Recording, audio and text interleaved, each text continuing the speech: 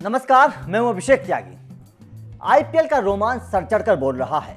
अब टीमें अपने खिताब को जीतने के लिए अब पुरजोर कोशिश कर रही हैं और सभी टीमें मैदान पर अपनी दम दिखा रही हैं, अपना दम दिखा रही हैं। लेकिन एक खिलाड़ी है जिसके नाम एक अनोखा रिकॉर्ड और बड़ा शर्मनाक कह सकते हैं, वो रिकॉर्ड दर्ज हो गया है और वो रिकॉर्ड दर्ज हुआ पंजाब के एक खिलाड़ी के नाम। दरअसल पंजाब और सनराइजर्स हैदराबाद के बीच हुए मुकाबले में निकोलस पूरन के नाम एक बेहद ही अनोखा रिकॉर्ड दर्ज हुआ है और कोई भी खिलाड़ी इस तरह का रिकॉर्ड अपने नाम दर्ज नहीं करवाना चाहेगा। और वो रिकॉर्ड क्या है वो हम आपको बताते हैं। दरअसल आईपीएल में बहुत रिकॉर्ड बनते हैं, चौके छक्कों के रिकॉर्ड बनते हैं, शतक के रिकॉर्ड बनते हैं, लेकिन ज़ीरो का भी रिकॉर्ड है भाई कि सबसे कम सबसे ज़्यादा बार ज़ीरो पर कौन खिलाड़ी आउट हुआ है? और वो रिकॉर्ड हुआ है निकोलस पूरन के नाम, क्योंकि अभी तक तीन मुकाबले खेले हैं पंजाब ने, और तीनों ही मुकाबलों में निकोलस पूरन ज़ीरो पर आउट हो गए हैं। ये सबसे शर्मनाक बात है उनके लिए, और सबसे बड़ी बात यह है कि पहले मैच में जब वो ज़ीरो पर आउट हुए थे तो दो गेंद खेलकर आउट हुए थे।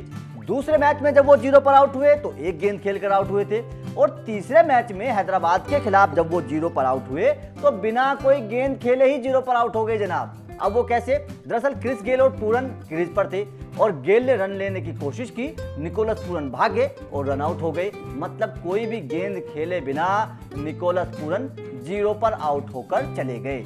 ये एक बड़ा ही शर्मनाक आंकड़ा निकोलस पूरन के नाम इस सीरीज़ में मतलब आईपीएल में दर्ज हो गया है। वैसे पंजाब इलेवन की अगर मैं बात करूँ पंजाब किंग की तो इस मुकाबले में उन्होंने तीन चेंज किए थे। आ, तीन में जॉय रिचर्डसन की और रिले मैरिडिथ और जलस सक्सेना की जगह हेनरिकेस फेबियन एलन और मुर्गन अश्विन को टीम में शामिल किया गया था।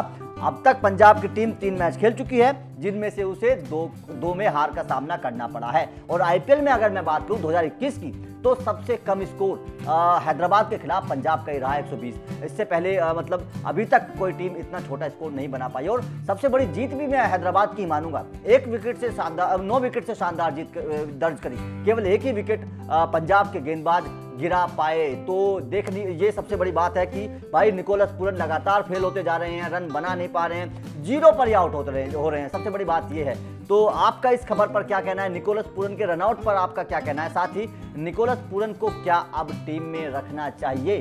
और पंजाब की जो बैटिंग आज फ्लोप रही, उस पर आपका क्या कहना है? हमें कमेंट करके ज़रूर बताइए। साथ ही, वीडियो अच्छी लगी हो तो इसे लाइक करिए, शेयर करिए, और हमारे चैनल को सब्सक्राइब करना बिल्कुल ना भूलें।